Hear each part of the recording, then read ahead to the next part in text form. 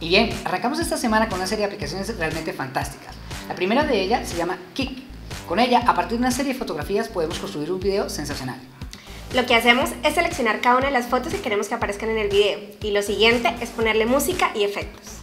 Una vez hemos añadido estas fotografías, él, a partir de una serie de plantillas que ya tiene predeterminadas, empieza a agregarles música, animaciones y diferentes efectos de sonido y de transición a estas fotografías.